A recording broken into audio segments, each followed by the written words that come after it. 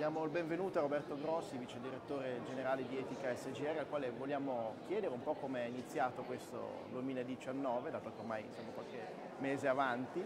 e parallelamente come interpreta il tema della sostenibilità Etica SGR.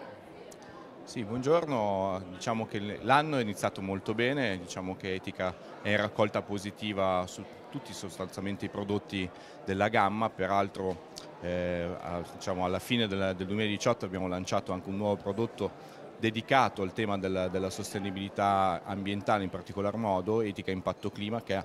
ha, sta conseguendo un, un, ottimo successo, abbiamo già superato gli 80 milioni di, di, di raccolta in soli 4 mesi.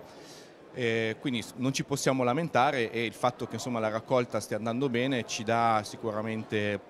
una conferma del fatto che il tema della sostenibilità, dell'investimento etico e responsabile è un tema che sta diventando, come si suol dire, mainstream, no? dominante o comunque di grande, di grande attualità. Eh, nella dimostrazione sicuramente il salone, il salone, di oggi, diciamo che per etica forse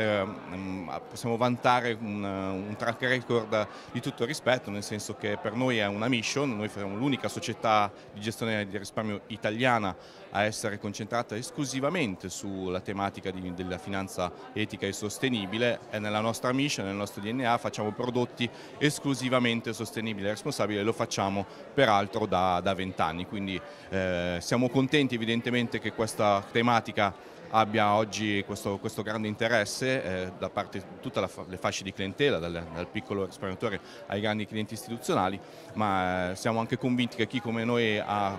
una storia di vent'anni da raccontare abbiamo magari anche un piccolo vantaggio rispetto agli altri.